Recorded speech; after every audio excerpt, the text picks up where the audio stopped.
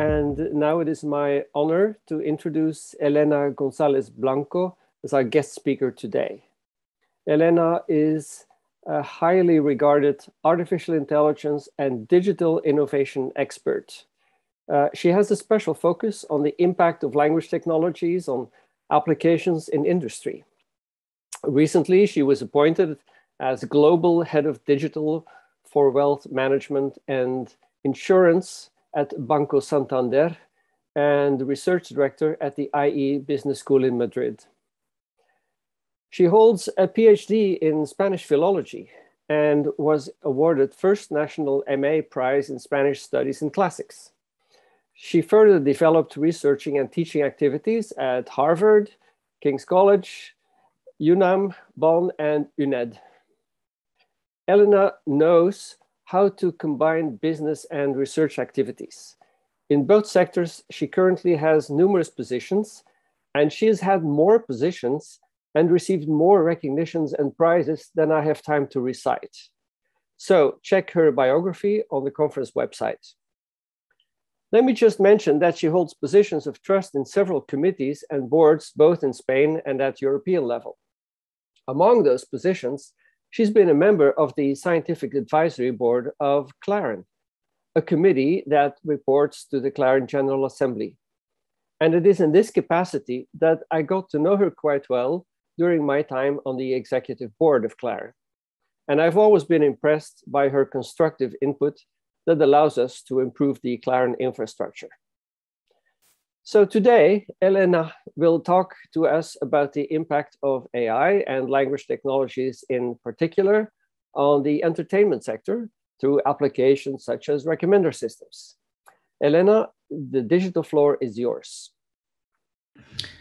Thanks a lot, Koenraad. So it's really a great pleasure to be here today.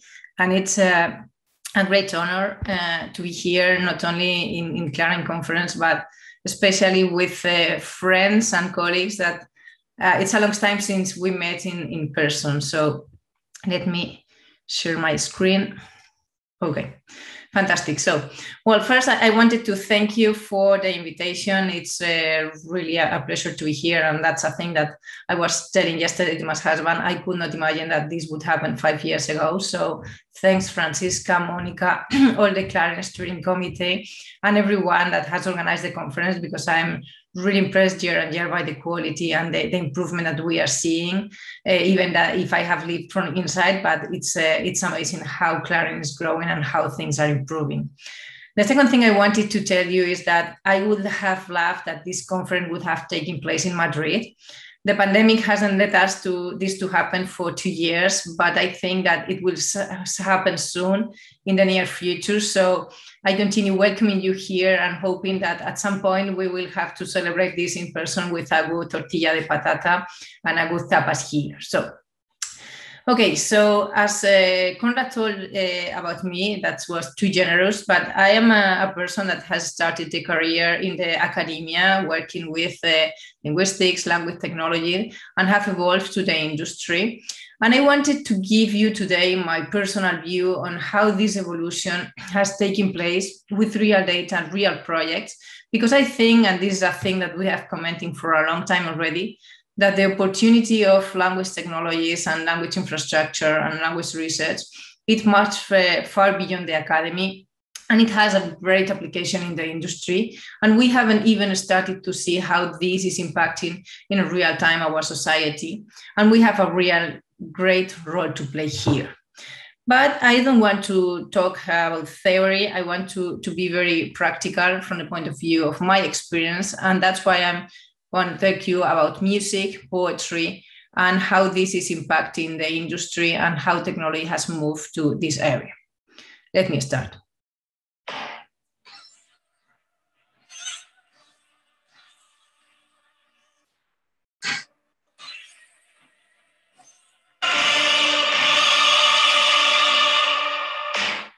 Well, you probably remember this music which is not only a very well known song, but it's also a very important poem that was created some time ago. When you ask people what's this, they will probably remember about the music composed by Carl Orff. a composer from the 30th year of the 20th century. But the letters, the songs, the lyrics uh, are coming from the poems from the 12th century, which were composed by the Goliardic medieval monks and found in the monastery of Benedict Boyan. This is only one of the examples of poetry and music that were famous and were lasting across the different years and have taken us to a moment where the world is changing a lot and where music and entertainment has a lot to do with poetry and text. Let me explain you why. Well, machine learning and artificial intelligence have changed the entertainment habits today with the phenomena of streaming and personalized entertainment, which is growing very, very fast through these different platforms. Video is the most popular streaming format, but there are also different formats, and music is one important streaming transformation way of uh, perceiving our entertainment, which is growing every day. Platforms are multiplying and differentiating content by specializing in specific type of users. As we can see, for example, the phenomenon of Netflix we perceive that recommendations are more and more focused on users and are becoming very dynamic. We can see that every day recommendation system changes. And if you try to analyze why and how these systems are working, they become more and more complex. We also have release schedules that uh, change every day to create tension and to create expectations in users that are receiving different type of contents. We are more open to non-English materials, to more specialized content, to documentaries, to series, and to specific contents that were very strange before these times. The entertainment providers are trying to innovate every day, and they are trying to bring different type of generations on board. So, for example, this nostalgic approach to bring uh, people from the 80s to the new screens are using strategies like taking characters that were popular when we were kids. So these stream platforms are trying to focus on different population segments to their content through different strategies. For example, millennials that are reviving the 80s or niche streaming series that are trying to catch people that have different type of hobbies. And of course, mobile are more and more important. So we are getting used to shorter and quicker materials, which are about 25% of this global streaming, which is happening over mobile data networks. They need faster compressions and delivery, delivery technologies because we don't want to wait. We don't want to wait and we want to go fast, quick, and with a good quality. So videos are getting with a better quality and technology is evolving a lot to compress them in a, in a better way to improve the user experience we have perceived that mobile traffic is increasing over 40%. And one important point is the relevance of music in this new experimentation, which is getting more and more important in apps like TikTok, which is based on video music, but also to other social networks like Instagram or Twitch that are getting more video effects with music and with uh, lyrics more and more. So the audience is distributed across different tools and ages, but what is clear is that the trend is increasing and growing faster and more and more. This has been a specific important phenomenon during pandemic time because of COVID impact. As you already know, this uh, convergence of new technologies, internet penetration, expanding mobile usage, and ubiquitous lockdowns are driving forces behind this development. These two years have been transforming all the entertainment area, and TV and video consuming has increased over 40%, which is huge. So, in that sense, music has also grown a lot in terms of how consumers are changing the habits of uh, listening to music, listening to radio. Radio uses are decreasing a lot, and music streaming traffic has grown by 20%. It has been led by Spotify and Apple Music during the pandemic, but the fact that accessibility and convenience have been crucial factor, they have increased the growth of this streaming segment. This success is mainly based on the tailor-made playlist that they offer to users based on their listening. These playlists are replacing traditional albums and have a different way of giving the information to consumer, which was, of course affects to the data and how these playlists are built. But before entering into how these playlists are built, let's look at the numbers from the business perspective. So if we look at this market, now we have 400 million of music subscribers, which is huge and growing in a very fast way. We see that Spotify is the standard leader in terms of subscribers with 20, 32% of market share. Amazon is growing faster than Apple, even if Apple is bigger now, but probably the, trend will change in a, let's say, short period of time. What is also very surprising is that Tencent Music Entertainment it's uh, has taken the first spot with 11%.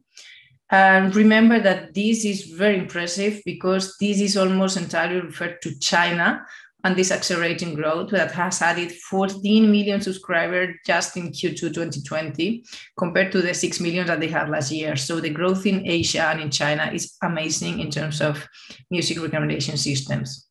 Google is also growing very fast because YouTube Music has uh, made Google this uh, find to find this place in the in the music space.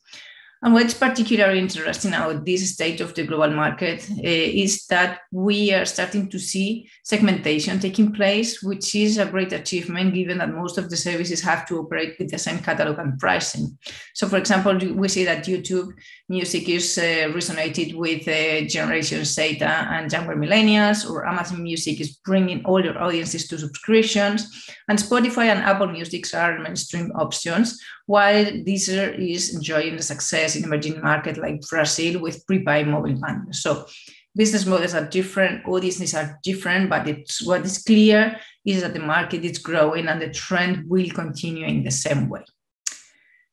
And I wanted to give uh, focus on especially on, on Latin music which is growing even faster than the rest of the market. So the annual rate is almost 6% with 70 million users by 2024, 60% yearly growth. And uh, if we look, for example, at the top songs in Spotify, we see that half of the top 20 songs are in Spanish with an increase of 10% of market share. So I don't want to uh, give more numbers, but the most important here is that we are seeing, for example, that there is a trend of becoming more and more variation in terms of language, in terms of uh, trends, and in terms of types of music, that it's much farther beyond the standard and needs to be specialized. And why I am referring to this in this language resources conference, in this Clarin conference, talking about music and about recommendation. Well, this is very important and is strongly related to, to lyrics of the songs because to build those lists and to fit them into the user preferences, music streaming providers have developed software tools and technique called recommendation system, which apply big data and machine learning to the large amounts of data collected from the users to provide personalized suggestions. So the same as Spotify, as uh, Netflix does with uh, videos, Spotify does that with music. But the question here is how do all these recommendation system works? Because recommenders are built based on three main strategies. Similarities between songs that are identified by the sound waves, collaboration tagging by users. So if I am listening to music and I tag them the song with a laugh or beach or something like that, these tags are collected and used to provide users similar recommendation to my behavior or to my preferences, which is a classical way of recommending users. Users like you like this kind of songs or the sounds that I'm listening are recommended to users that have been categorized with a similar profile of mine. And there is also the classification using conventional tag for songs based on metadata such as cover name, composer, title, title, or genre, which is a, a, big issue because there are, as you know, many different classifications of genre of cover, beats, tempo, pitch, instrument, mood. Usually, uh, tags and items that have to see a lot with music and with musical uh, types of uh, categorizing songs which is interesting, but if we see that there are very few tools that currently offer a search for the lyrics of the song. So the lyric of the song is the letter that the poem has beyond the music. There are very few tools that are taking into account this, and those who do not take to take account the the, the, the, the song, the, the lyric, they just are using the literal text and do not make a deeper analysis on the meaning or search capabilities based on the semantics of the lyrics. They are just looking for words or just looking for general topics, but don't use them as a deep dive into the classification system or to blend to the content to extract more information. We have a few examples of tools that are in the market that are using a little bit of lyrics to offer a premium search uh, functionality or a recommender uh, system. So, for example, Shazam, which is uh, based on a sound wave, does not allow to users search by lyrics. It only has some information stored about songs like artist or genre and just shows the items that have similar characteristics. Spotify does not allow searching for lyrics, although recommendation includes uh, some basic metadata. SoundHound allows users to sing a cappella song as a search part for the lyrics using a test search engine.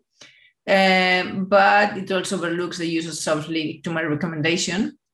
GraceNote is another song recognition service that also makes recommendation. But although it had a lot of metadata, its recommendations are not based on the content of the lyric. And Genius is a service used by companies like Apple that it's dedicated to song lyric and uh, recommends and gathers the, the song lyric segments and offers additional context, such as information on how the song was devised or explanation about the meaning of verses. And it has a great potential, but it has not been exploited yet in terms of natural language processing or language technologies applied to the content of the, of the song of the lyrics. But what's behind all this? So none of all these recommendation systems take into account the semantic information of the song lyrics. Lyrics are much more than that. They are formed by text using usually the form of poetry.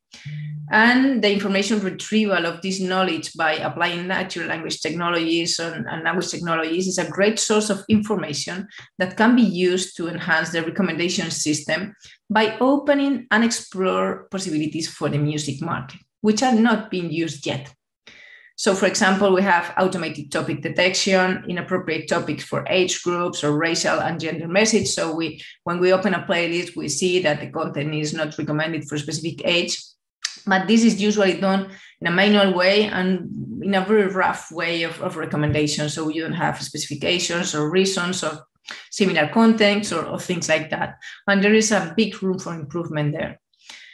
And there is also a, another problem, which is that unfortunately, not all language and poetic traditions have received equal attention in terms of developing automatic tools for poetry, with English being overwhelmingly overrepresented and with modest attempts in other languages such as German, French, or Spanish, and of course many other languages that we are seeing in Europe that we see from the research point of view and from the language technologies perspective that are underrepresented uh, in research, but even more underrepresented when we go to commercial tools that are using technology for analyzing songs or lyrics or poetry or text. So in this situation and in this panorama, we try to do, to do something for understanding Spanish poetry, Spanish songs. And this started with a post-data project that was an ERC project that I became uh, five years ago. And we were trying to organize this uh, poetic tradition infrastructure in Europe. We started by understanding poetry, to compare tradition, to trying to create a standardized tool to understand the metrics, the semantics, and the uh, emotional and sentimental relationship between poems. And we realized that the same thing that you can do with poems, you can do with song lyrics, because actually there are poems behind those songs. And the things that we generate, the metadata and the information that we can generate, can go much farther beyond poetry to music songs in order to improve this recommendation system that I mentioned before. So what we got after the five years of uh, strong research by combining semantic web technologies, natural language processing, uh, machine learning tools, and testing a lot of different things was a laboratory that we like to call like that, a poetry lab, where we have different kind of tool sets and, and research experiments that have helped us to understand the essence of poetry and now we are working on how to apply these results into the lyric songs in order to be able to bring these results beyond research into the industry. So if I look at Poetry Lab now, I have to say that it's a marketplace for natural language processing tools devoted to poetry analysis techniques insofar as literary phenomena that rely on linguistic traits and work on metrics, stylistics, and semantics. And I'm going to give you a very quick overview of some of the most, let's say, highlight tools that you can see in a more detail in, in the website, and we can comment or discuss in a further detail uh, at some point, because of course there is a, a lot of room for improvement yet. But for example, we have created or we have a work stream on metrical analysis and scansion. We have created a tool that we call Rantanplan, which is a, a Python library for the automated scansion of Spanish poetry. Uh, it's also able to identify up to 45 different types of the most significant Spanish stanza. And it's fast and accurate as it is built using spaCy and spaCy uh, affixes. Um, in that sense, we have also experimented with neural network models that are using a word-based approach with minimal natural language processing in the traditional way. So we have also used BERT model to train a scansion system, and we have compared the different way of using scansion with traditional natural language processing tool and with BERT and transforming model to train them. And we have got interesting results that are far beyond the state of the art when they are applied to poetry. But this is not the only thing that we have done. Of course, corpora are very important. And as you know, corpora are the, the cornerstone of what we do after that. And our first problem was to find a, a poetic corpus. And after that, the poetic corpora, some corpus to train our system and to test if our systems are working. So we created Averell, which is a Python library and a command line interface to download and standardize corpora from 10 multilingual poetry repositories in different formats into a single representation that could be downloaded uh, with an annotated corpus to reconcile with TEI entities to provide a unified JSON output. And we uh, obtain the data in JSON and then uh, we convert and correspond to some of the data properties for the post data ontology. So we have created an ontology to classify all the information for poetry because the starting point of the project was to how to create a common language for poetry, how to unify semantic web technologies and control vocabularies to uh, communicate the different poetry tradition across the different language based on standards, of course, because we know how important it is to share information and to use standards for all the things that we do. And we have created these three ontologies, post-data core, poetic analysis, and transmission that are free and available because they have been already published, combined with the FRBR, OO, and uh, ODP ontologies, and with a layer of control vocabularies that we have uh, combined with the corpora and the tool sets to be tagged with the ontology in order to make the information flow across the different applications. So one of the things that we have already been experimenting and working with is similarity tools with uh, neural networks. So we have created what we call Alberti to, to play with BERT and, and with Alberti, with the writer in Spanish, which is a set of two BERT-based multilingual models for poetry, a model trained on single verses and a model trained on stanzas. And uh, we have uh, open a repository on Hugging Face that it's open and available. And here we have a, a nice example of uh, how we can change the final words of a poem into similar words that can allow users to play with similarities, but also with contents and to improve the semantic approach if we want to be more creative from a computational perspective. And uh, in that sense of similarity, uh, what we wanted to get is uh, a recommender for similar songs based only on the content of the lyrics. So here is uh, we have what we have called Dalton, which is an interface when we can put a song there and you get similarity based on space information or based on Spotify recommended information and based on the corpus where we are looking for, we can get similar song based uh, on vectors and uh, embeddings to get similar text based on these uh, ways of classifying and analyzing similar text by similarity metrics. So those are ongoing tools what we are improving and we are trying to let's say adjust not only for spanish but also for different languages. But the idea is just not to give all this information to papers and journals and we have done uh, always but to go one step further and to use all these results of research to enrich the music market recommendation system so we have created a Poetry Lab API, which is a REST API that provides an analysis endpoint to all the information about the poems.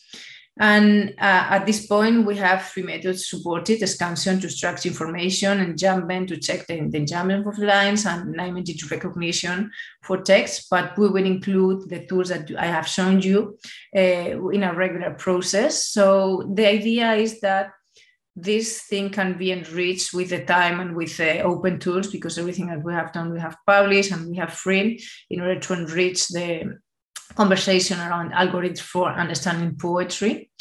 But the uh, results or the output of this project has been a proof of concept that we are working now in which is the lyrics project which is uh, because of the works artificial intelligence for lyrics. For these lyrics of the songs that as i told you is not more than poetry.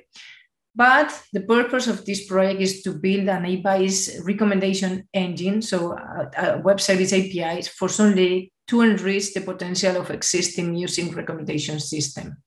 So we want to go far beyond research because there is a big gap in terms of music industry which is understanding the song lyric in different languages, which is a thing that almost nobody is using at this point. So we want to do it in an automated way to automate generate metadata extracted from the lyric analysis to enrich the recommendation system without the need of manual tagging and with the manual uh, corpora uh, supervision that it's doing up to now. So this is, as I told you, only one example on how artificial intelligence and natural language processing algorithms is applying to Spanish music. And it will improve the existing algorithms by providing them with new training data and uh, the intelligence performance in Spanish, making it more human and better prepared for further projects in other areas. But as I told you at the beginning, I don't want to leave this only to music because the opportunity in language technologies is so huge at this moment from the commercial point of view, from the industrial point of view, and from the market point of view, that what we want to bring here today is not the case of music, is the sense of opportunities that we have at this moment, the sense of urgency that we have in the market, where we have the knowledge, we have the infrastructure, we have the training, and we have the know how on how to make things and how to make things well but we need to go far beyond research and to transmit this knowledge to our community in order to make the right with, the, with language technologies outside research. And just to give you some examples, we see that there are chatbots everywhere. And if you analyze how commercial chatbot works, most of them are not working well at all. They have a very rudimentary rule-based model that are even not using natural language processing or machine learning system.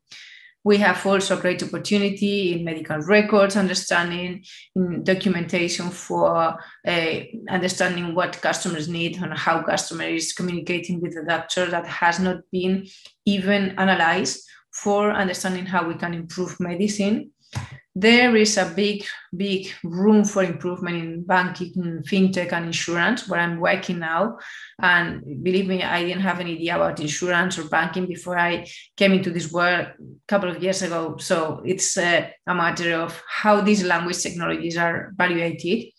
And there are a lot of documents, contract, mortgage documentation, fraud detection tools that need to understand how we speak and what's language processing and how we can extract information for these big amounts of data that had not been looked at before. Because they are saying that we want to have an omni-channel approach for the customer, but this omni-channel approach is, is now at the PowerPoint that it's not happening yet because we don't have the technology in place, which is working really well as we need, specifically for language, which is the big challenge of artificial intelligence now. In energy, for example, you could not imagine that this is a sector it's using increasing natural language processing and, and language technologies and voice technology to offer customized info for clients to understand where customers are speaking or which kind of uh, green energy we want to, to develop or a phenomenon like connected car when we need to be understood by the car and to give instruction and to uh, interact technology and connect different sources of data everywhere with a big infrastructure. And of course the pain point that I always mention is legal documentation. Legal area is far beyond technology in a lot of senses, not only from the documentation point of view, which there is a great opportunity there, but also from the regulation point of view, where we are facing now, and especially in Europe, a challenge in terms of things that we can do and we cannot do with data for users, with sharing data, GDPR, and all these things, where we have a lot of say from the technology perspective and from the uh, use of data perspective, because we know what we are doing, and most of the people doesn't.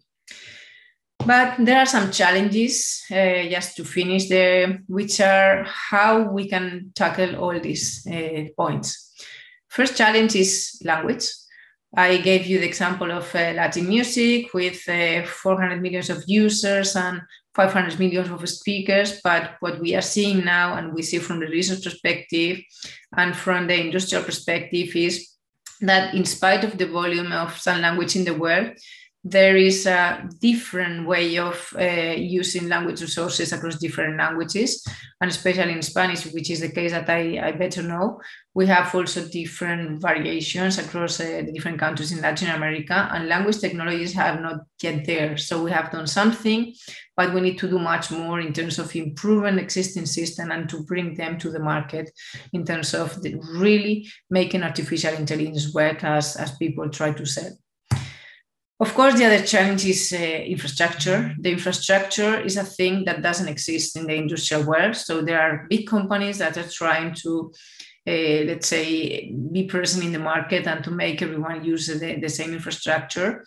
But we need to work on uh, data. We need to work on standardization. We need to work on the concepts of infrastructure, and we need to bring the lessons learned from Clarin outside Clarin and to explain what we have done and how things are working can be uh, reused or uh, trained for other people that are working with industrial infrastructures because they are just about to start building data lakes and trying to share information and create a standard. And I think that there are a lot of things that we have been working since 10 years ago that need to be transmitted to other areas beyond research. Of course, for this, we need to do a lot of dissemination. So the initiatives that we are doing, the ambassadors, the talks, the everything that we are doing is not enough. We need to do more and we need to do more outside the, the research work. And I think this is the only way of connecting people and making people aware on where, where the challenges of AI and language technologies are. And of course, as I told you, regulation and where we are in Europe and how we want to make this grow with us and not in spite of us, it is also very, very important.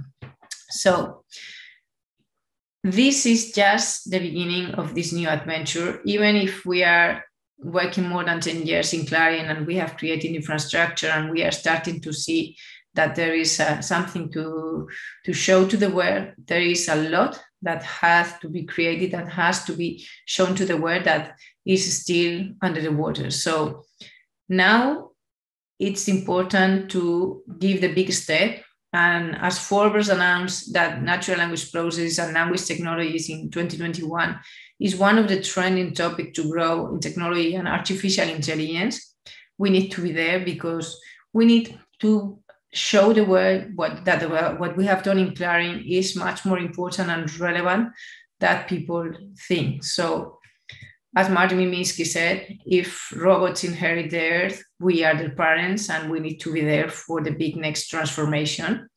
And I encourage you to join the adventure and to show the world that Clarin is much more than a research infrastructure and a tool for gathering corpora or for connecting people.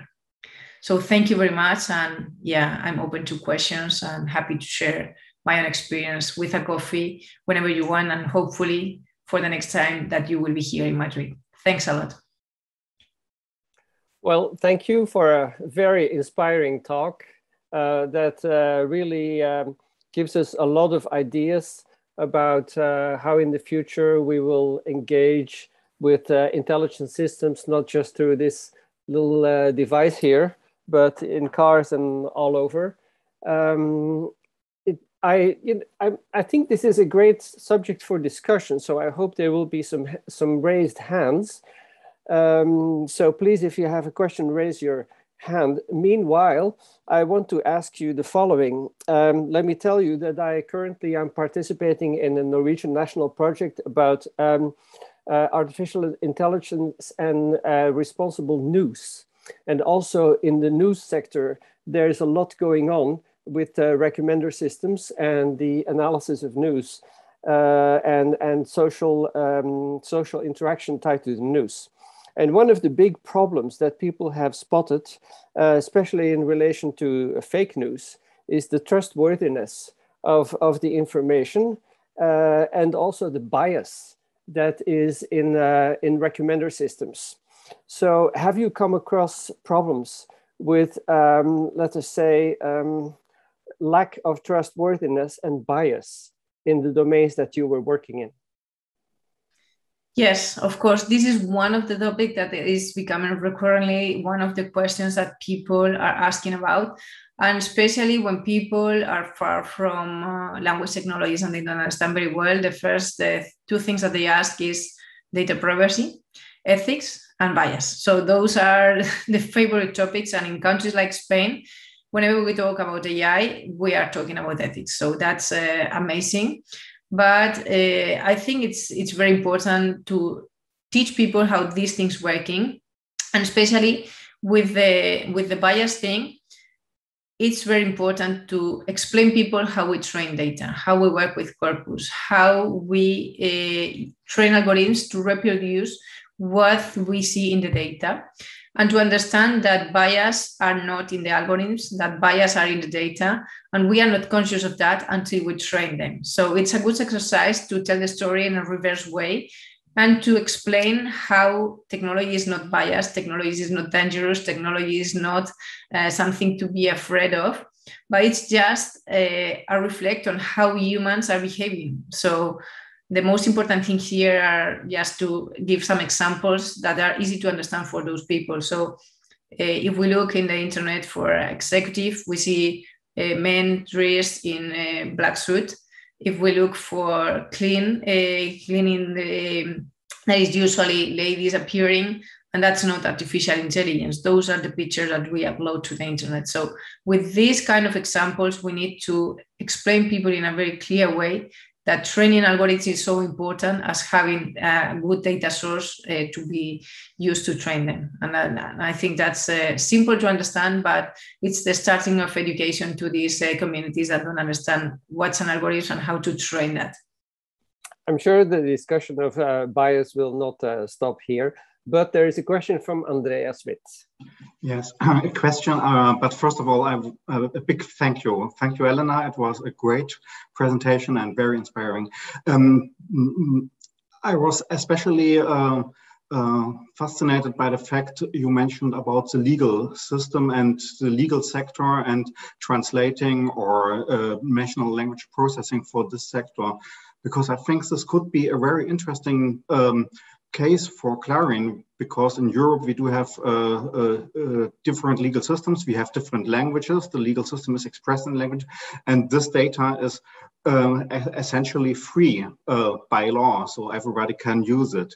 Um, do you have um, and now my question: Do you have any particular um, um, applications. Uh, for instance, I could imagine a, a, a, kind of a search system for the legal systems for lawyers uh, that is possible, but also for the public administration or uh, the GLAM sector.